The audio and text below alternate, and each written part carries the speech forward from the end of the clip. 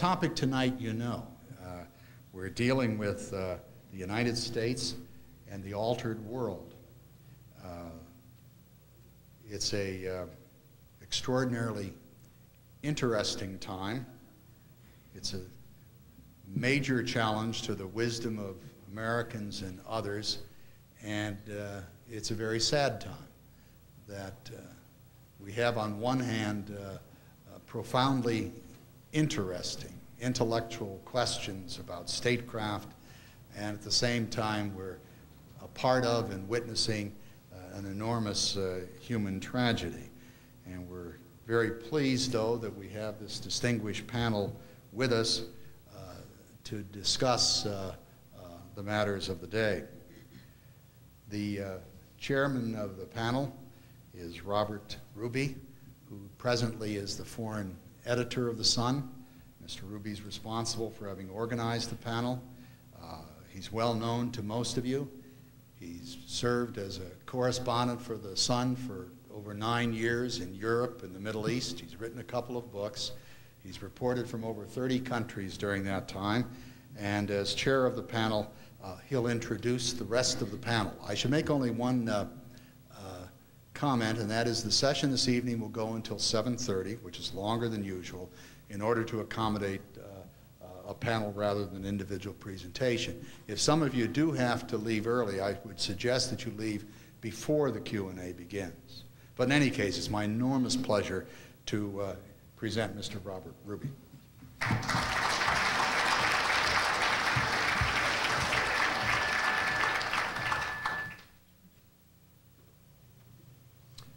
Thank you very much, and an early good evening to everyone. When I was uh, preparing for tonight, I went back to read some presidential speeches from times of crisis or times when important allies seemed to be at a crossroads. The Middle East, of course, came to mind. And I took the liberty of stitching together some excerpts from speeches by four presidents as if it were one short speech by one president. This is from, uh, what, I'm, what I'm about to read is by, it's a little bit by Woodrow Wilson, uh, introducing the 14 points in January 1918. Uh, the first President Bush, Bush, Bush 41, speaking uh, five weeks after Iraq's invasion of Kuwait. President Clinton speaking in July 2000 after the collapse of the Camp David talks between Ehud Barak and Yasser Arafat, and the current President Bush speaking Monday. Let me read this as if it were one address. It's quite short. The day of conquest and aggrandizement is gone by. What we demand, therefore, is nothing peculiar to ourselves. It is that the world be made fit and safe to live in. Out of these troubled times, a new world order can emerge, a new era, freer from the threat of terror, stronger in the pursuit of justice, and more secure in the quest for peace. Israelis and Palestinians are destined to live side by side, destined to have a common future. They have to decide what kind of future it will be it's important that the people who the leaders represent understand that this is a script that's never been written before. They have to write a script, and they've got to keep working on it. Last paragraph. There is a mutual responsibility to achieve peace, and it's going to require leadership on both sides. I meant what I said about withdrawal without delay, and I mean what I say when I call upon the Arab world to strongly condemn and act against terrorist activity. All of this was to remind myself of something that should be obvious, but that I think reporters, I know editors, and I suspect even presidents forget. It's that the steering wheel that presidents think they hold in their hands doesn't, isn't always connected to the wheels. every, every president in his administration takes hold of the steering wheel, the offices and officials controlling foreign policy, and purposely steers a little bit to the left or a little bit to the right, and early on, usually, has the great pleasure of sensing the wheels respond. In times of crisis, as was the case last September, an administration and the Congress and the public can lift the whole apparatus, set it on a new road and on a new course. You suddenly take an interest in the roads of Central Asia. You start driving into Afghanistan. And then, every time, the mechanism fails. It doesn't respond the way a president expected it to, or even the way it used to. You turn the steering wheel, and the car does not respond as crisply as it once did. The mechanism, the world, does not respond. The Middle East once again comes to mind. A new world order free from the threat of terror? No, it didn't happen. More modestly this week, Withdraw without delay? Didn't happen. Israelis and Palestinians have to write a script. That was President Clinton. Yes, they do. It remains unwritten. Afghanistan has to write a script. A new script is probably going to be needed for Iraq. We don't know who's going to be the author of it. Presidents, secretaries of state, secretaries of defense always find these scripts almost impossible to write, the actors difficult to control. That was the way of the old world before last September. That is the way of the new altered world. It's also going to be the subject for my three colleagues, and I'd like to introduce them. Mark, Ma um, Mark Matthews was the Sun's Middle East correspondent until July. He's now the paper's diplomatic correspondent based in Washington he's covered the Middle East peace process through at least four administrations. He and I were together in Madrid in uh, 91, 92, and it's, it's endless. Will Englund returned in early September from his second stint as one of the Sun's Moscow correspondents. That was in early September. About 10 minutes after the plane landed, and before he unpacked, he got on another plane to go back to Russia, then to Tajikistan, then into Afghanistan. He's now an editorial writer specializing in foreign affairs. Tom Bowman is the Sun's Pentagon correspondent. In February, he traveled to Afghanistan with the 101st Army Airborne Division and reported from Kandahar.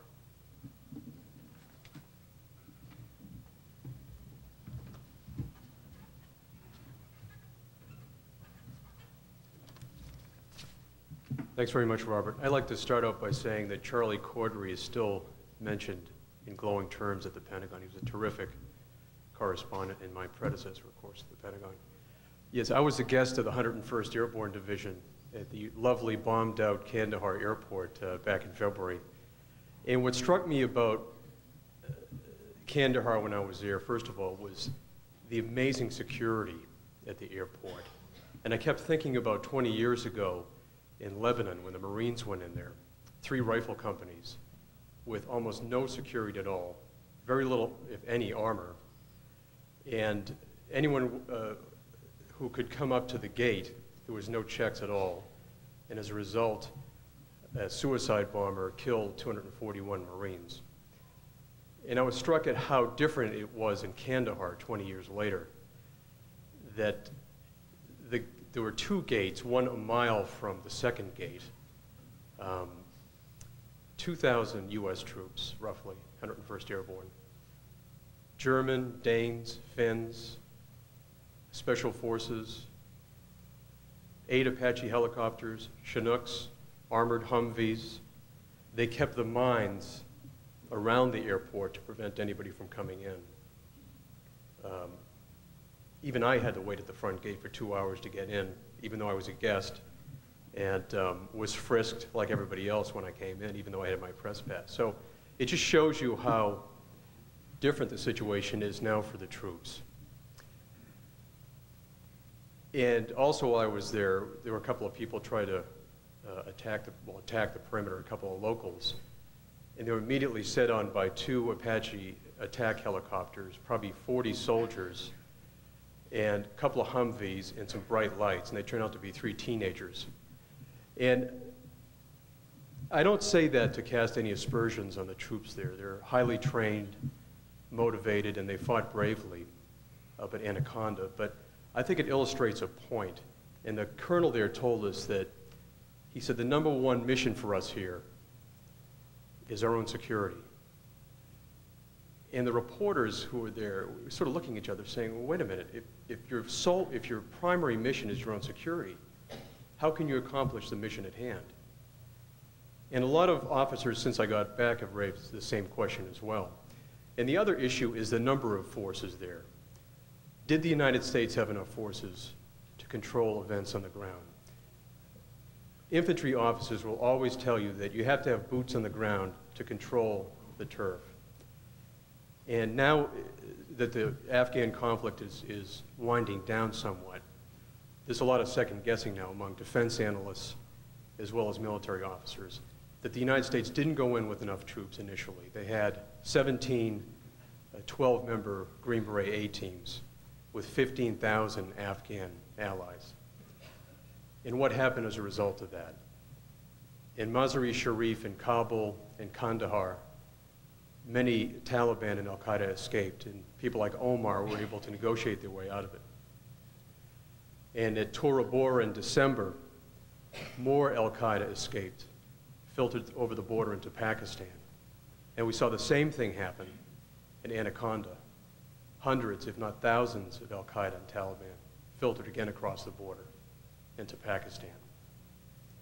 And above and beyond that, if, you, if you're relying for the most part on your Afghan allies, when all is said and done, they're going to grab power as they did. The Northern Alliance is heavily weighted now in the government. They run the defense ministry, and 37 of the 38 top officers in the military are either Tajik or Uzbek, even though Pashtun is the dominant minority there.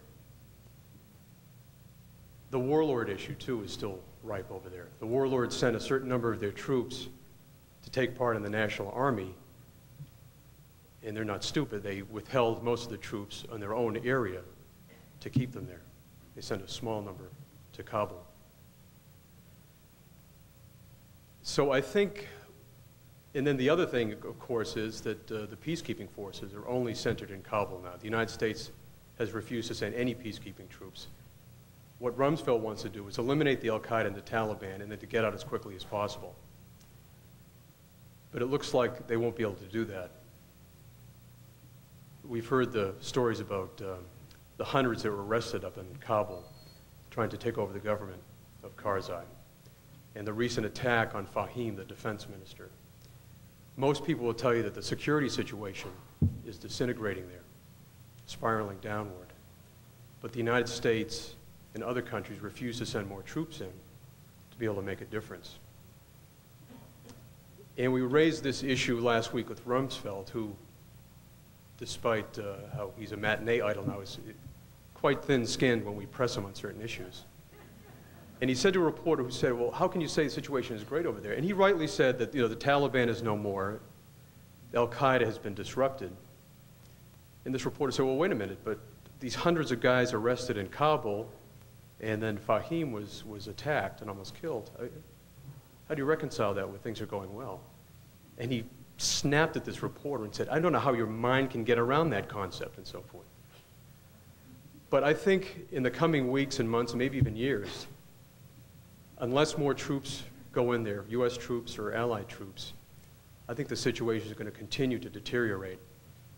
And Rumsfeld's going to get more questions like that.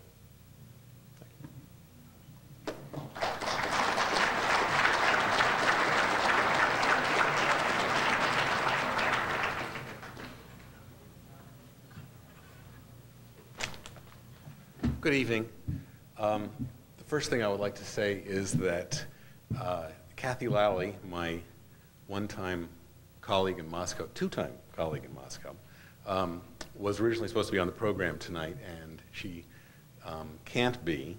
Uh, she sends her regards to everyone. She's sorry she's not here. She's in Cleveland uh, with her mother, who had back surgery on Tuesday, and everything's going pretty well. She told me today that the hospital staff is doing a very good job of ignoring both the patients and the visitors.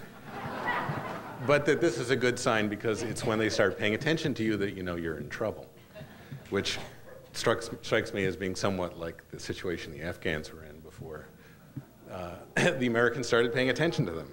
You know, uh, I think the Americans are listening to us now. I think, I think we're in trouble.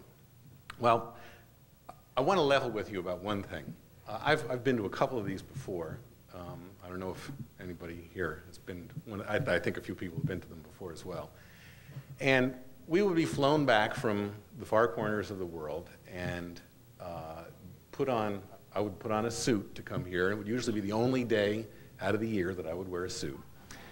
And I would try to be very sober and speak dispassionately and with a more or less a uh, more in sorrow than an anger kind of tone. But my feeling is that now that I've gone to the editorial department, um, or as we like to call it, the, the uh, throat clearing department, I, I, can, I can put all that aside. So, uh, I guess I'll begin. I, uh, I want to speak about Central Asia, but I'll begin um, first with Afghanistan, um, because I was there just a little bit before Tom was. I was in the north, whereas he was in the south.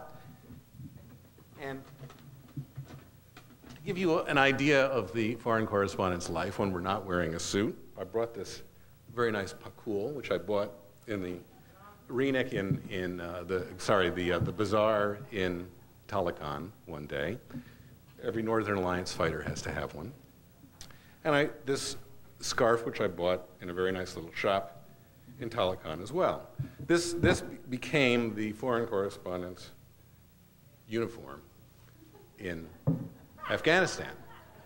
Now, I have to say I felt slightly self-conscious buying these things, except that several hours after I bought this scarf, I was using it to bandage a serious wound that a colleague of mine had suffered in Kunduz. So I was awfully glad I had it. She later washed it out for me, and I, I, I wear it to this day, and I, I think of her um, when I do. Afghanistan was, you know, it was, in, believe it or not, in the fall, we were paying more attention to Afghanistan than we were to the Middle East, and it was the, it was the big story. But I got there through the former Soviet republics of Central Asia. I actually spent more time last year in Tajikistan and Uzbekistan than I did in Afghanistan. And uh, considering that the US now has troops in, in Uzbekistan and in Kyrgyzstan and may have or may soon have troops in Tajikistan as well, um, it's, I think, very important to uh, notice, to pay attention you know, to this greater area, the sort of the, the suburbs of Afghanistan, the concentric rings, you might say. Um, because it's, a, it's, as I said very briefly at this gathering last year, I believe Central Asia is an extremely important place. Now that I'm no longer a dispassionate foreign correspondent, but an editorial writer, I can tell you in all sincerity that it's also a seriously screwed up place. Um, the good news is it's always been screwed up. The bad news is we're now there, and we're in the middle of it and we're going to have to we're going to have to deal with that. Our troops landed, uh, but they did not land into a you know historic vacuum. So forgive me for a moment if I just outline some of the context of Central Asia. There, of course, the Silk Road ran through there. Um, it was an area with legendarily cruel, imaginatively cruel uh, leaders until the, in, until the, I was going to say the last century, the, the 19th century, um, was noted for its cruelty and torture and um, beautiful architecture. The uh, Russians, of course, started heading in that direction in the 1800s and were horrified in many senses by what they found there. There was a painter named Vereshchagin who went to Bukhara and Samarkand in, which in today, today's Uzbekistan. in the 1870s, I think, and he came back to Moscow with a whole series of oil paintings that essentially were variations on the theme, the theme being a head on a stake, and people uh, in colorful oriental garb admiring the head on the stake. Sometimes there were many heads, sometimes there was one head. Um, he later became a pacifist, surprisingly enough.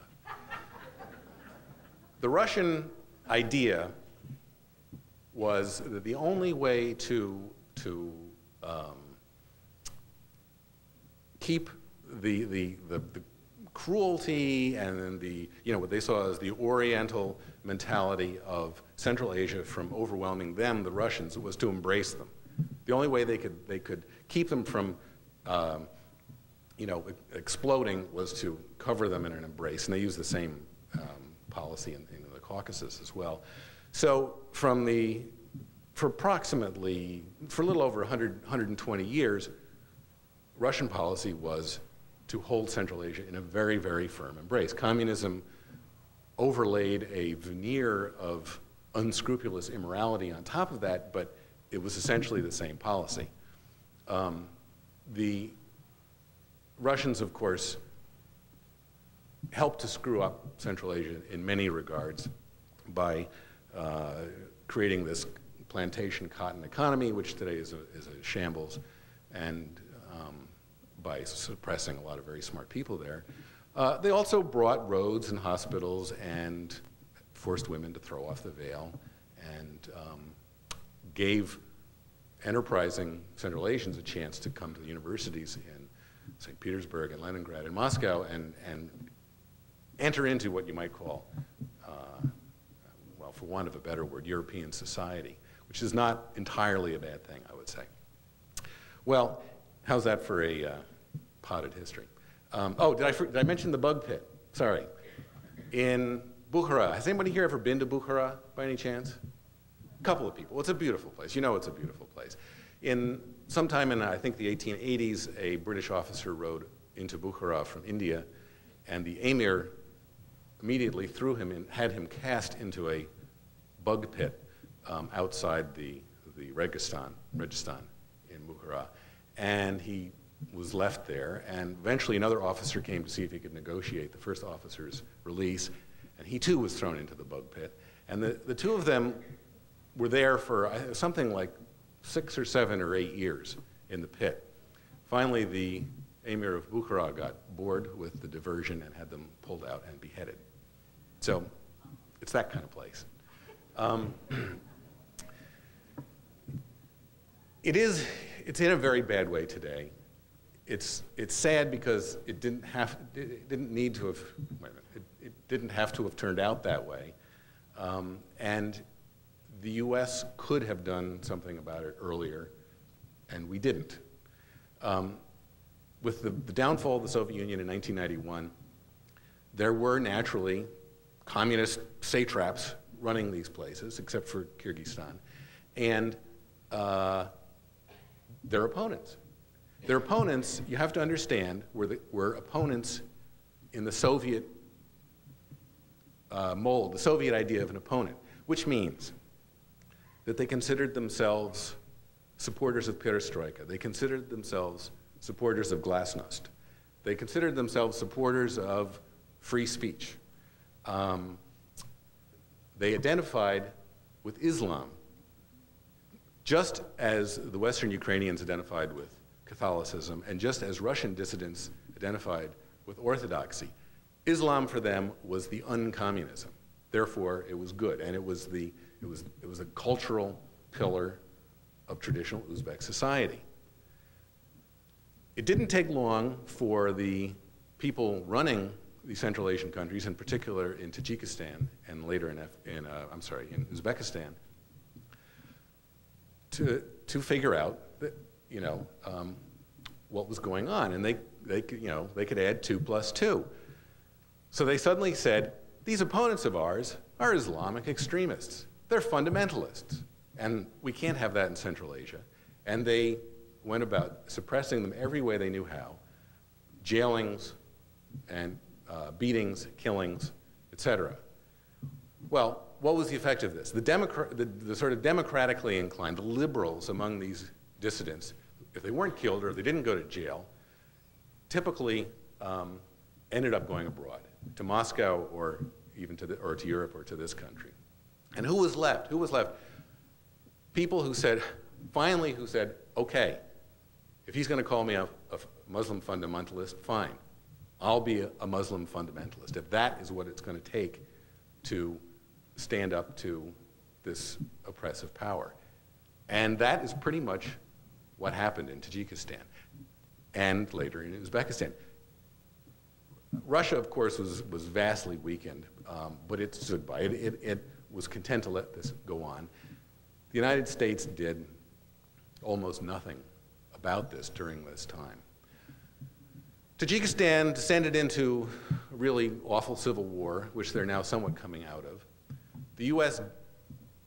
did provide rice and wheat, rice and flour to the Tajiks at a time of great need, and the Tajiks were aware of that. And in fact, the, uh, the U.S. is still supplying uh, wheat to um, approximately one million Tajiks who would go hungry otherwise, and there is a lot of good feeling about that. I might add as well that the U.S. was the largest supplier of food to Afghanistan under the Taliban and is still the largest supplier of food to Afghanistan.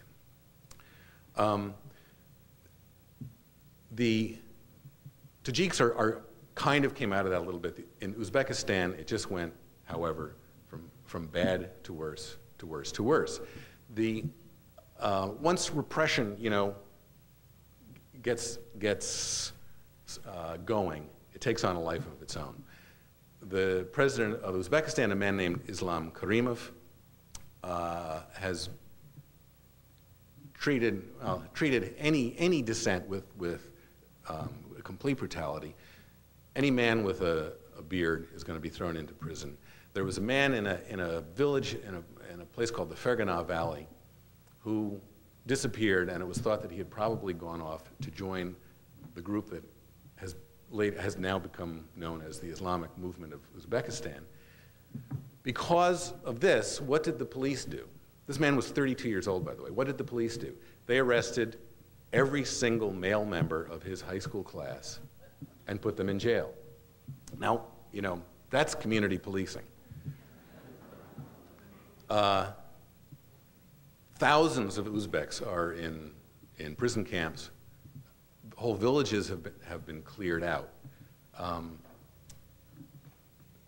in, the, in, the, in the rural areas, uh, a lot of angry young men have been recruited to this group, which I alluded to before, the Islamic movement of Uzbekistan. As recently as last summer, even though this group had been making incursions, they, they trained in Afghanistan, been making incursions into Uzbekistan, I spoke with an American diplomat who assured me that, you know, they were several dozen rabble rousers. They were nothing to be concerned about. It was not a problem at all. Uh, this fall, President Bush mentioned the Islamic movement of Uzbekistan you know, as one of the fountainheads of worldwide terrorism. My guess is that the truth actually lies somewhere in between. Um, they were organized by a man named Juma Namangani, who may or may not have been killed in the bombing in Uzbekistan. Um, they, are, they were a force to be reckoned with to some extent. Um, they may arise again. It's hard to know. But there's another movement, another organization in Uzbekistan, which is much quieter and much more extensive. It's a uh, party, an underground party, outlawed underground party called Hizb ut-Tahrir, which is, I think, has its roots in um, Palestine and Lebanon. I think perhaps Lebanon, but founded by Palestinians in the 50s. But anyway, they believe in, a, in, the, in a, the establishment of a worldwide caliphate, worldwide Islamic state.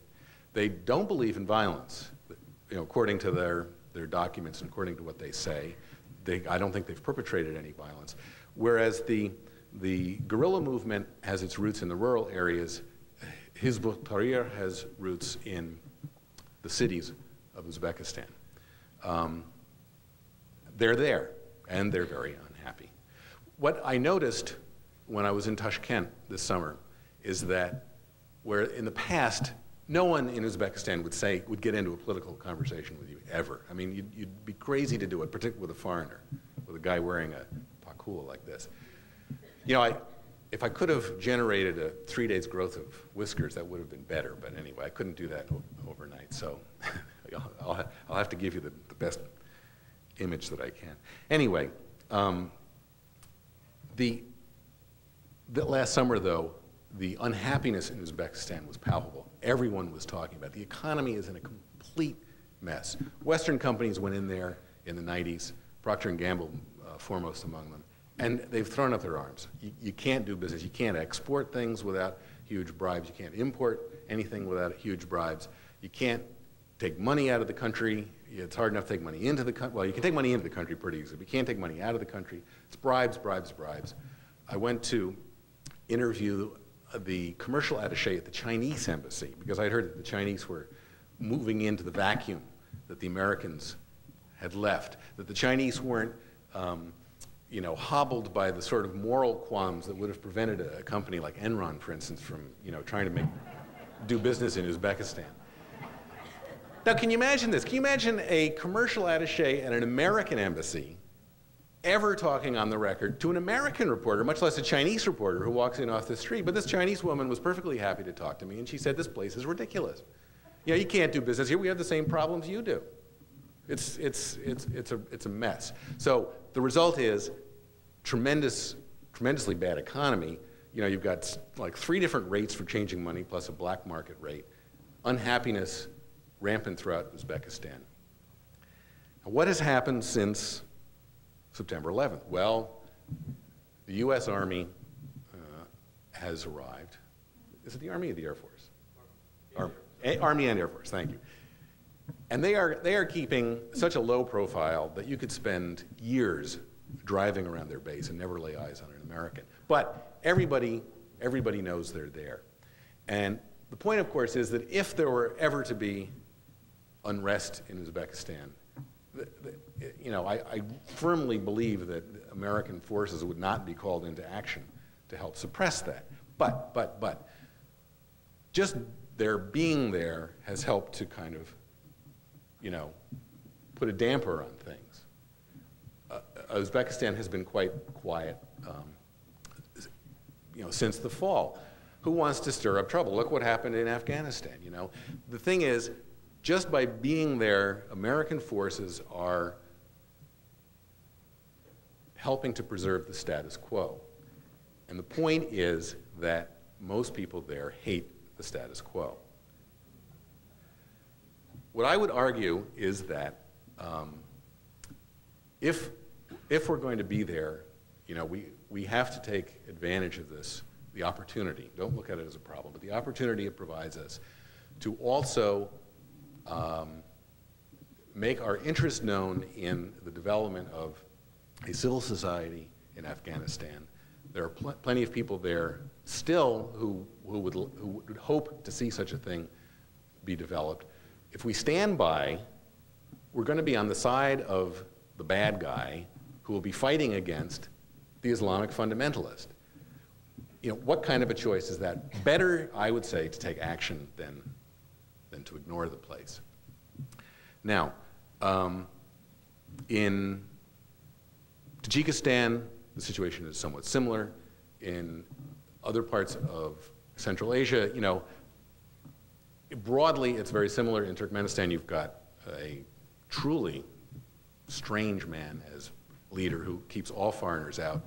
I think lots and lots of drugs come through uh, Turkmenistan, and plenty of arms were going through it in the other direction too um, Afghanistan, but you would, there was almost no way of finding out because, because you can't get in there. Now, I'd like to end by just talking a little bit about, very, very briefly, about Russia and its interests in um, Central Asia. I believe that Putin was brilliant. He, he, was, he took the lead in, in understanding what it would mean to Russia to allow American troops to go into Uzbekistan, into Tajikistan if that's what we wanted, into Kyrgyzstan. And he, he fought for that. He fought for that. He, he, he pushed for that, much to the astonishment of his generals and members of the parliament and the rest of that. But he understood that he has maneuvered Americans into sending in their troops to protect Russian interests in Central Asia. It's almost as brilliant as the Reagan administration managing to get Cuban troops to protect Chevron's interests in Angola in the 1980s. Um, and I, I think Russians will come to see this themselves. But lest we, lest we um, imply, you know, um, too much of a Machiavellian brilliance to Russian strategy, I would just say that the last day I was in um, Dushanbe, the capital of Tajikistan, I went to visit a Russian journalist, the kind of Russian journalist who wears epaulets on his day job, who wanted to talk about the, the strategic situation in Afghanistan. So we went to his apartment in Dushanbe, and he spread out these maps of Afghanistan that were, you know, like from here all the way over here. And, they, and that was like five miles worth of Afghanistan. They were incredible maps, the kind of, of like of which I had never seen before, particularly in Russia, where the maps are an abomination. They were these, the contour lines must have represented changes in elevation of about two feet. They were just, it was, it was astonishing.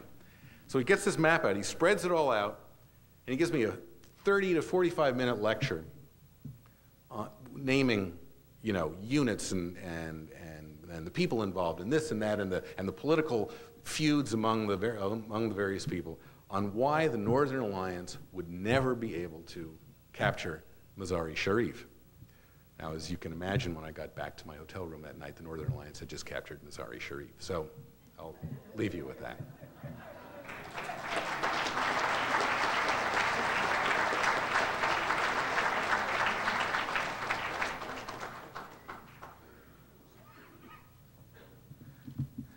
Good evening. Uh, Robert asked me to speak with, uh, to describe how Colin Powell sees the world. Uh, today, I think when, uh, when Colin Powell looks at the world, all he can, all he can see is a very small patch of ground on the eastern Mediterranean that's erupting in an earthquake and that earthquake is sending tremors all across the Middle East uh, and threatening to uh, push northward toward Europe and uh, reaching to Asia and, and sending ripples across the Atlantic uh, to affect the United States in the, in the form of shocks to the oil market and uh, possibly spreading violence. Um, that's why he's there. He tried, the Bush administration tried for 18 months to figure out a way of uh, intervening in the conflict that would, that would make a difference. Uh, I, I, think they were, uh, they had very strong doubts that anything would work, uh, but now they're they feel as though they've been, they've been pulled by events in, into the conflict, and, and they can't avoid it. Uh, the, and Powell is there. Um, he doesn't say how far he, how far he really wants to go, whether his, his aim is a ceasefire or whether, his, uh, whether he wants to get something much more solid put together in the, in the form of a peace track. Uh, and he, he won't define success because that would simply doom his mission while he's there and, and before he leaves. Um, I think starting tomorrow and again on, on Sunday, he's going to face a pair of brick walls. Um, Ariel Sharon is going to welcome Colin Powell very warmly. He, uh, American officials are always warmly welcomed in Israel, but I don't think Ariel Sharon is, is in any mood to be cooperative with the United States right at the moment. He, the Israeli army was finally in, engaged in a month-long effort that they believed was going to repeat what Sharon himself had tried in Gaza and uh, something that actually succeeded at considerable cost, but it's succeeded for a number of years in, in curbing the terrorism that was erupting from Gaza in the 1970s. Uh, they have um, arrested, I've lost track of the number, but hundreds of militants. Many of them are being interrogated. They are providing leads to others, and uh, they would like to painstakingly go through a process of matching up names and people and uh, rounding up all the, all the planners and, and perpetrators of terrorism. Powell is asking them to uh, interrupt this mission right in the middle, and they, and they don't want to do that. Um, when he gets to Ramallah, Arafat will also greet him warmly. Arafat will probably not be as obstinate sounding uh, his usual manner of dealing with Americans is to smile, uh, say, uh, yes, I want to help you, I want to cooperate, and then wait for the American official to leave and not follow through. When he's pressed by American officials at, at the usually the, uh, the end point of a, of a negotiation, he will dig in his heels and say, You are making us slaves. Uh, Sharon is now in a very strong position domestically. Uh, he, he, believes the, uh, and many Israeli people believe that finally the Israeli government is taking strong action that is going to make a difference.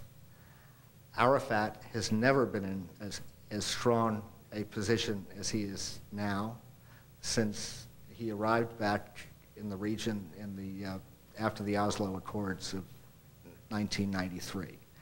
He is not only extremely popular among his people, but he is, uh, his popularity is spreading throughout the Arab world. He probably chortles when he uh, look, turns on Al Jazeera TV and realizes that his colleagues among the leaders of the Arab world, all of whom detest him cordially, uh, are seeing him on TV and seeing his face in, among the demonstrators in their streets. How does, how, how does Powell get, get past this hurdle? We can go through the list of things that have, have tried and failed.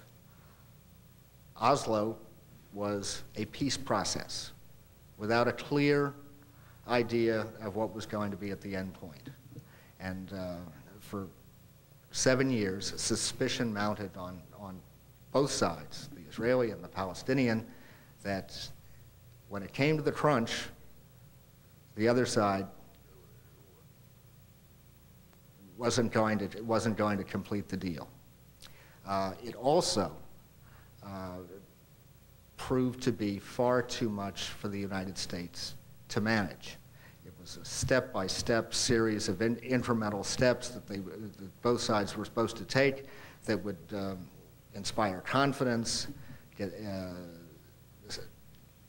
make the populations optimistic, uh, reduce the, the level of hatred, and finally, at the end, this uh, reduction in hatred and uh, reconciliation would make the tough choices that they had to make much easier. Well, that, that didn't work. It, I mean, it, it, it, fell apart gradually, uh, and it, the United States, in order to keep such a thing going, would have to assign the Secretary of State or somebody, or, or somebody at an equal level, almost as a full-time nursemaid. Uh, that, so I don't think that that's going to happen. Uh, you can impose a solution in this sort of situation. Israel is a democracy. It's very difficult to impose anything from the outside on a democracy, and I think most Americans would be un uncomfortable doing that. Uh, benign neglect, which was tried over the past 18 months, has only made the situation much, much worse. And if uh, anybody imagined that the Israelis and Palestinians were somehow going to fight each other to a standstill, or that one side was going to win hands down, don't know the Israelis and the Palestinians. This is not South Lebanon. Uh, this is survival for both, and they, and they see it that way. How does, how does Powell get beyond that? I think Powell is taking at least the outlines of a plan. A great many people have the same idea of the end solution that has to take place in order for there to be peace there. And it's, uh, it goes back 35 years. It is two states with borders that provide Israel security, and it, includes, and this is probably of utmost importance, wide recognition and acceptance of Israel within the Arab world. This is, uh, this is the, the, basic, the outline of a plan that's contained in United Nations resolutions. Uh, this is the outline presented by President Clinton just before he left office. It's the outline of the Saudi Crown Prince's proposal and it has been in, basically endorsed by Colin Powell and by the White House. Uh, the question is, there have been plans before. There was the Rogers plan, the Shultz plan. Every one of uh, Powell's predecessors, with a, a, few exceptions, has had some idea of, of a plan. What's going to make this different? Uh, selling the plan is going to make it different. And that's where Colin Powell can probably set himself apart from some of his predecessors. He's an extremely good salesman, and he has strong support in the United States. So long as he keeps the president behind him, and so long as the president keeps the administration united. Uh, probably members of Congress will give him some latitude. And bit by bit, he may be able to uh, whittle away at the broad distrust towards him and towards any plan that he might might bring on either side. He's going to, he's going to have to keep uh, looking over his shoulder because there are a number of people in the region and also here who, who expect him to fail. There, are, uh, there is a, a school of thought in Washington that it is pointless for the United States to try to push any kind of peace plan between the Israelis and the Palestinians right now because the, the, the region just, the environment in the region is, uh, is all wrong for it. You've got uh, elderly dictators uh, in many of the states surrounding um, in, the, in the Persian Gulf and uh, in Egypt, not in, not in Jordan, not in, not in Syria, but in Syria, the, uh, the current president is uh, just as, just as hard-nosed and uh, just as hostile to Israel as his father was. He just doesn't seem to be quite as smart. Um,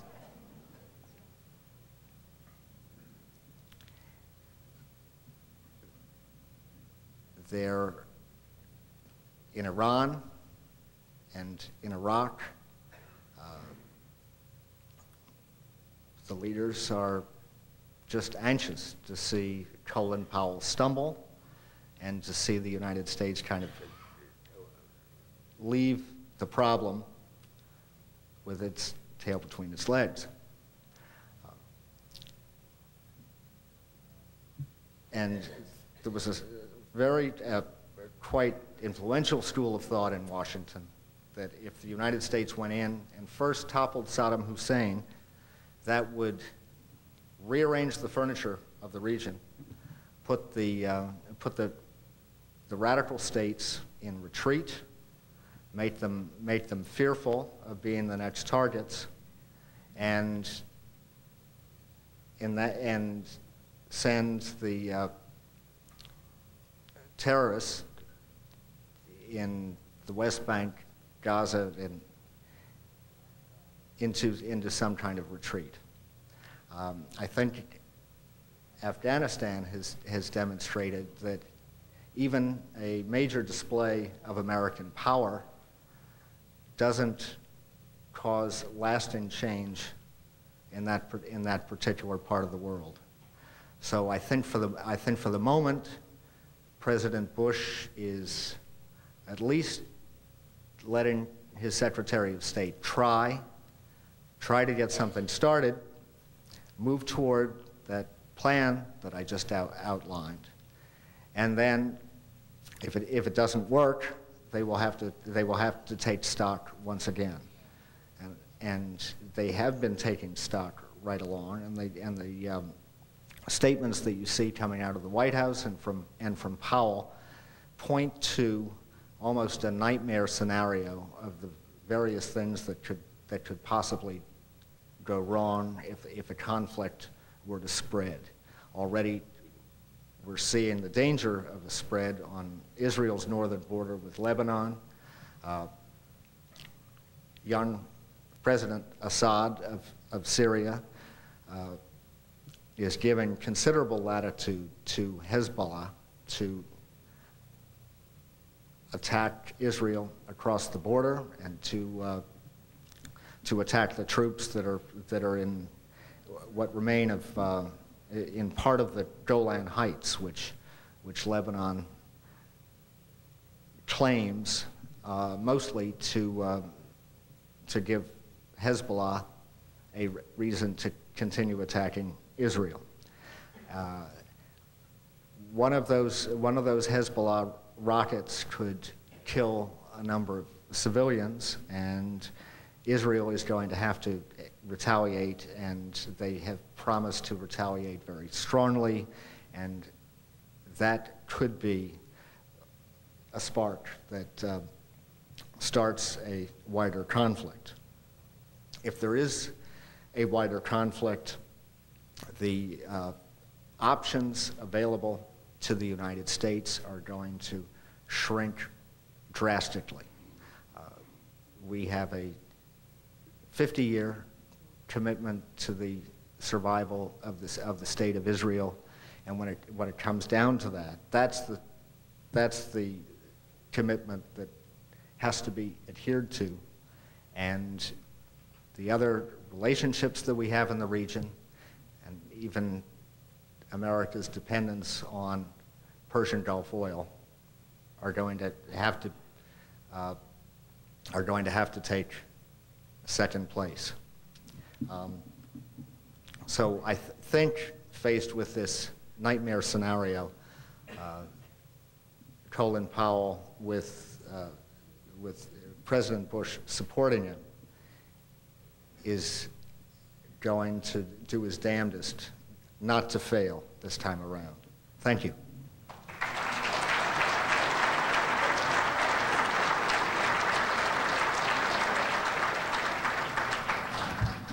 One of the problems about understanding the area where you were talking about, and especially Uzbekistan and Tajikistan, is that I never knew an awful lot about that to begin with, and I can't say that your press has informed me an awful lot at the time when you think we should have been paying attention to it, simply because there wasn't, wasn't going to sell many of your newspapers.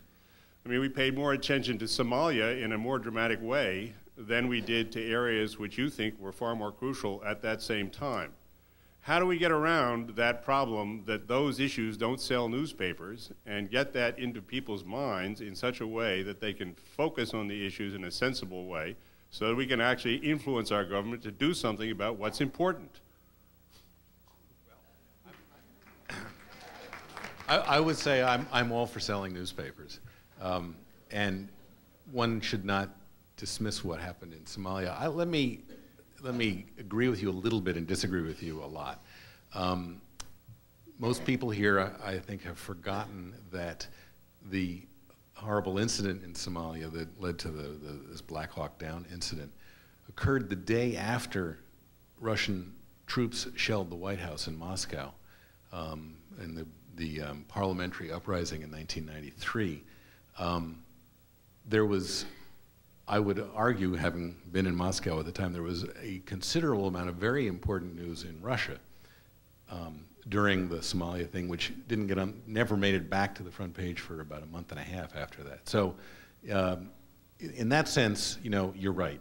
Um, news organizations tend to go where the where the sparks are and can ignore some pretty important stuff. I, I would argue, on the other hand, that I think um, re readers themselves often don't notice what's in the paper.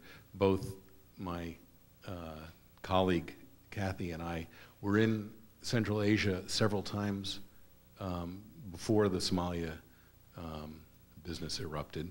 She, she particularly was in Tajikistan quite a lot in 91 and 92, and I was in Uzbekistan in 92 and Kyrgyzstan. Um, so, you know, we were there. I doubt anybody here remembers any of the stories we wrote. Um, you know, that's, that, that's, that's the way it is. You know, we do what we can. I think the Sun has a uh, really has made an effort, uh, particularly in areas where there isn't a lot of daily breaking news, in other words, outside the Middle East, to let the correspondents go and find stories that are, that are important and not necessarily um, off the daily news. Uh, um, and I hope that that um, kind of policy will continue. Uh, the uh, end of the session has arrived. Uh, as always, we, we enjoy these sessions with the, the panel, and for sharing their experience and thoughts with us, we're deeply grateful. Thank you very much.